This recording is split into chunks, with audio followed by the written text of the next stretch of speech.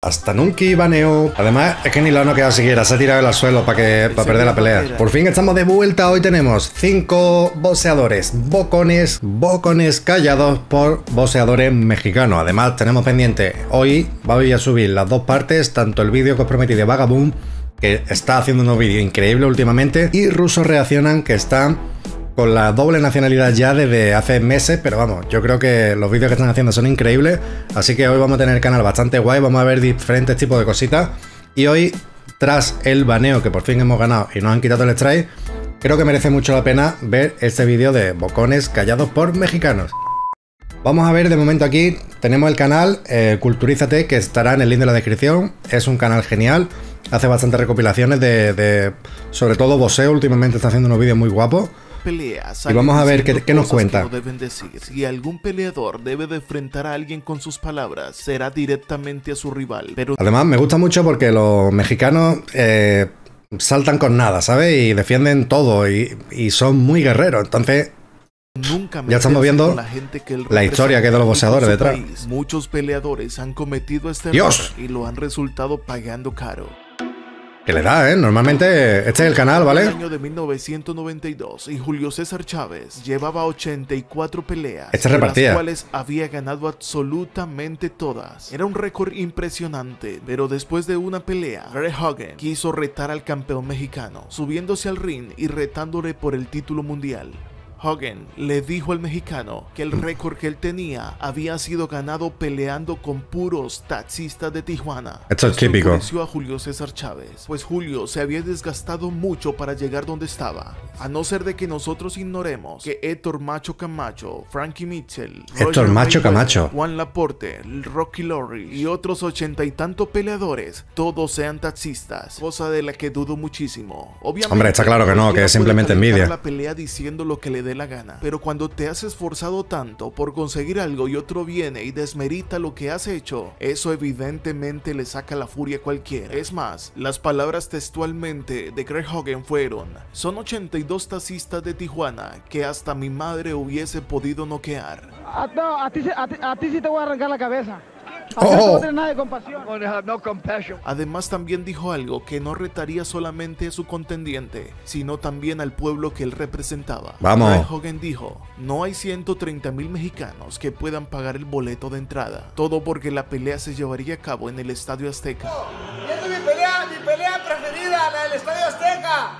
¡Qué increíble el cariño de toda la gente! ¡Gracias México! ¡Nunca lo voy a olvidar! Al momento de ser retado Julio César Chávez respondió directamente a Hogan frente a frente. La verdad que a Hogan, a Hogan sí no le voy a tener nada de compasión. Julio César ha dicho en muchas entrevistas, el hombre que más me sacó la furia fue Greg Hogan. Es, que, normal, vaya palabra, tío. Pero no desmeritar lo que ha conseguido. Y además, uno no se puede meter con la raza de nadie. Lo cierto del caso es que llegaría el día de la pelea. El encuentro estaba listo para el 20 de febrero de 1993. La pelea se pactó para 12 rounds en el Estadio Azteca de Ciudad de México. Dios, esto tiene que ser impresionante. súper ligero, mientras que salió ¿Habéis tenido la suerte de poder asistir en vivo a este combate? Porque vaya, esto tiene que ser, no sé, yo creo que habrá sido el, evento de la década casi, ¿no? Caminando por el medio de la multitud, Julio César confiesa que sintió mucho miedo. Era un miedo de esos que genera la responsabilidad que hay sobre tus hombros. Nadie, absolutamente nadie, había visto este escenario tan lleno de gente. Es que... este encuentro entre Julio César Chávez y el norteamericano, en total se cree que habían 132.274 personas. Es que tú, atento, atento a esto, tío.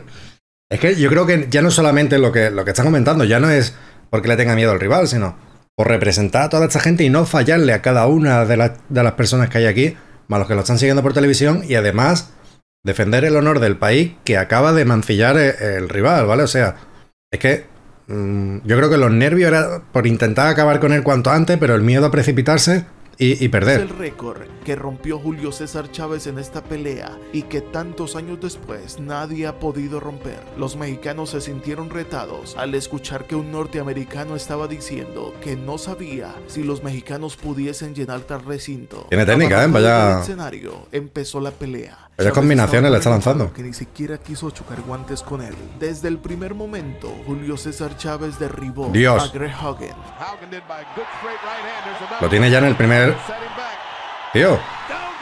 que Greg Hogan pasaría toda la pelea pensando en lo que se había metido. Siempre estuvo por encima de él Julio César Chávez. Los puños que sacaba Hogan eran como para mostrar que estaba vivo, pero para Julio era una evidencia de que podía seguir mandando golpes. Lo tiene tontito, pero en las vaya. primeras tres rondas sentía mucha responsabilidad y no estaba disfrutando de la pelea, pero después dijo, hay que derrotar a este bocón y se le fue encima. Solo duró dos rounds más. En el quinto round el árbitro paró la golpiza. Es que ya era, era como entrenar, ¿no? Eh, No había rival directamente, lo tenía ya desde el segundo reventado. saboreado por cinco rondas los golpes de Julio César Chávez. Increíble, tío. Es que eh, eh, la historia que tiene México detrás, en todo, deporte, boxeo, Cuando le fútbol, preguntaron acerca de eh, los taxistas que habían enfrentado en cultura, en todo, tío. Él dijo, deben haber sido taxistas muy duros. Ahora sí reconoces que ya no peleé con taxistas. Y con respecto a tanta es un cabronazo, es, es un cabronazo, es que me encanta, tío. gente en la pelea, dijo, no sabía que tantos mexicanos tenían dinero para pagar la entrada. ¿Cómo? Lo, lo hablador, por hocicón y por grosero. Joel Cepillo Casamayor para el año 2008. Es que me gusta mucho eso, porque en México cada cosa que, que descubre es como... México son como muchas ventanas, cada vez que abre una ventana tiene 20 ventanas nuevas detrás, y es como pum, pum, cada cosa es increíble. el cinturón de la WBO, WBC y de Ring, pues contra Corrales había conseguido el título ligero y ya estaba sólido en ese peso. 36 peleas, 3 derrotas, 32 victorias llevarían a Joel Casamayor a sentirse invencible en el momento. Parece Y La pelea contra Juan Manuel Márquez. Esto en el año 2008, en el mes de septiembre. Joel Casamayor en la rueda de prensa había increpado a Juan Manuel Márquez sin mostrarle respeto alguno.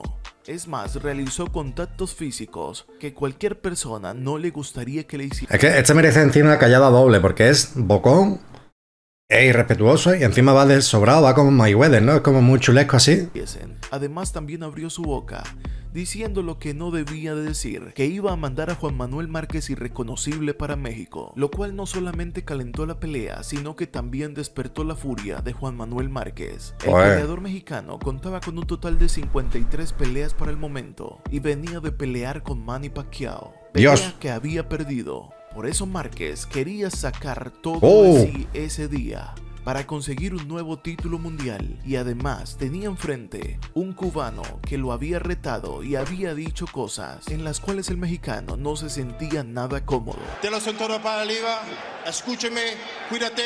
¿Listos? ¡Vámonos! El día de la pelea en el NGN de Las Vegas, en las Dios, madre mía, el mexicano, ¿cómo reparte, tío? ¡Qué velocidad! Rondas, Márquez empezaría buscando cómo acomodarse, pero Casamayor, que había dicho Le que le iba a dar una paliza a Márquez, En dos segundos le enchufa cuatro golpes continuamente. En el quinto round se Dios. le dio un corte en el ojo derecho a Casamayor, esto por un choque de cabezas involuntario, pero de ahí en adelante Casamayor empezaría a sentir los puños drásticamente. En la ronda 5, Además que no falla los golpes. fueron rondas de Márquez. Los engancha todo.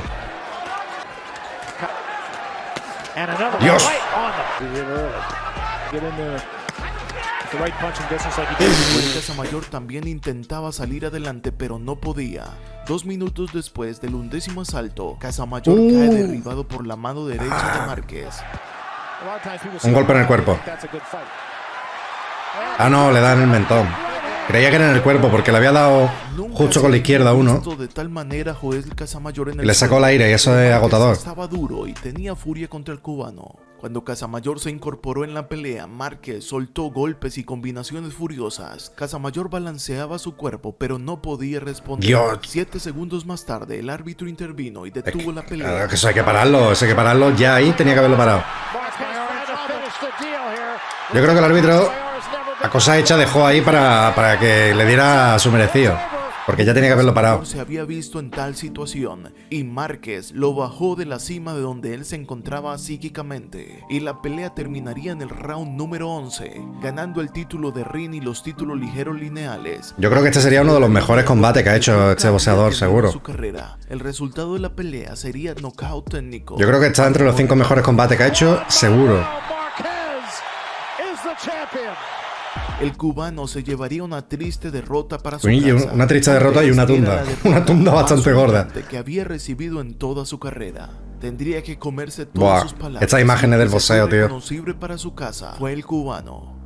Marco Antonio Barreras, el 6 de febrero de 1996, luchó contra el ex campeón McKinney. Antes de la pelea, en la rueda de prensa, McKinney se empezó a meter con lo más sagrado que tiene un mexicano, y es su pueblo, su raíz. Pero no entiendo por qué esto debería estar prohibido y penalizado, tío. El mexicano que se respete es conocido como un hombre orgulloso de su patria. McKinney se metió con su raza y le dijo que no le podía ganar. Frente a estas declaraciones, Barrera no pudo contenerse. Se Increíble, puso ¿eh? en pie y le dijo a su entrenador, ¿será que le puedo pegar? Yo enfrento la demanda. Y de un momento a otro sacó un derechazo. Un derechazo rápido y efectivo, directo al ojo. Tristemente para McKinney, no pudo devolver el golpe. Lo separaron y se quedó con su ojo morado. Así se tuvo que presentar a la pelea. Sin empezar la pelea, Kennedy McKinney ya tenía un ojo hinchado.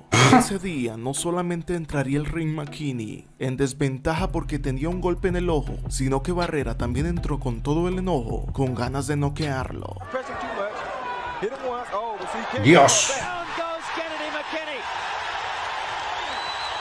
En un principio, McKinney lo derribó, pero Barrera se recuperó para derribar a McKinney en cinco ocasiones más, hasta noquearlo en el asalto número 12 y reteniendo su título. Además, es que ni lo ha noqueado siquiera. Se ha tirado al suelo para que para perder la pelea. Barrera le demostró a McKinney que se tenía que tragar sus palabras. Se tira al suelo directamente, se rinde. Yo personalmente para esto prefiero que mi entrenador tire la toalla, porque esto es eh, humillación. No solamente le cayó la boca al bocón, sino que es que lo humilló. Esto es una de las peores cosas que se pueden ver en boxeo. Sentarte en el suelo para que paren de pegarte. El Chapo Rosario tenía su título mundial, pero había alguien que lo quería, nada más y nada menos que Julio César Chávez. Antes de la pelea las cosas se calentaron, el Chapo Rosario dijo que noquearía a Julio César Chávez y de algún modo se metió con la esposa del mexicano, cosa que despertaría la furia de Julio César Chávez. Lo voy a noquear y llega el día de la pelea y noqueo y así te va a pasar a ti. No. Pero antes de la pelea, había algo que despertó más el enojo en Chávez, ya que le dijeron que en Puerto Rico tenían una foto de él, a la cual le estaban haciendo para que Julio César Chávez se enfriara en la pelea y no le pudiese ganar al puertorriqueño. Alguien cercano a Julio César le dijo que debía de ponerse un cinto rojo en su frente para bloquear las malas energías. Aunque Julio César se negó en un principio, resultó saliendo a la pelea con el cinto rojo alrededor de su frente. La cosa fue que la banda roja nunca se la quitaría por el resto de su carrera. Tanto Vaya. que se convirtió en una insignia del peleador mexicano. Increíble, ¿eh? Muchas veces, pelea, el de donde vienen las tradiciones capaz con en los deportistas. Después de varios rounds, Julio César le dio una golpiza al boricua. Al Una golpiza, me encanta golpiza. Me encanta. por Rosario recibió tanto castigo que solamente Dios. ver por un solo ojo. La pelea terminó con nocaut técnico y Julio César Chávez le tapó la boca a el hombre que lo había insultado gravemente antes de la pelea. Lo tiene a merced ahí, vaya, está. Boh. Lo tiene ya merced. Dios. Dios.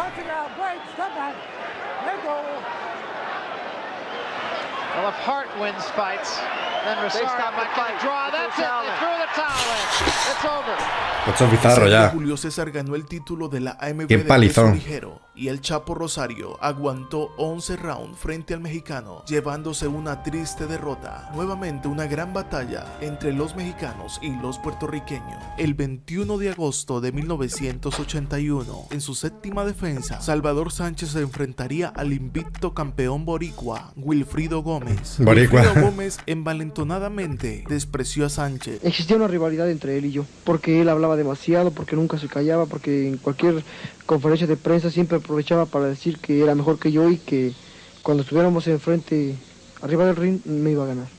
y aseguró a los periodistas que acabaría con la esperanza mexicana en 8 rounds, como lo había hecho antes con otros de sus compatriotas, pues el boricua era un experto derrotando pugilistas mexicanos, ya lo había hecho con 10 de ellos antes de esta pelea. Pero con Salvador Sánchez no pudo. Contra todo pronóstico, Salvador Sánchez arrolló a Wilfrido Gómez en 10 asaltos de auténtico castigo. Una vez más, la máquina de puños estaba activa. Esa victoria le dio el reconocimiento que aún no tenía a nivel mundial. Pues la verdad que es una pasada. Estos vídeos me encantan. Estos vídeos como de karma, ¿no? Digámoslo que son como vídeos de karma. Pones en tu sitio a tu país, pones en tu sitio tu honor, te defiendes y encima luego le ganas. Y en algunos casos hemos visto estas humillaciones. Ese boxeador que se ha sentado, ha marcado, que se ha rendido así en plan, me, me siento y deja de pegarme ya. Eso en boxeo es como debilidad extrema, ¿vale? O sea, ese. Eso lo marca el resto de su carrera, os lo aseguro. Así que nada, ya sabéis, el vídeo de Vagabund o Ruso Reacciona, ponedme en los comentarios cuál queréis que ponga primero. Y lo veremos hoy, en el día de hoy, ¿vale? Aquí es tempranito todavía, es por la tarde. Así que esta noche, para relajarnos, vamos a ver varios puntos de vista, uno desde Vagabund y otro de Ruso Reacciona, que van a ser dos pedazos de vídeo, seguro. Así que nada, nos vemos en el siguiente. Un abrazo. Chao, chao.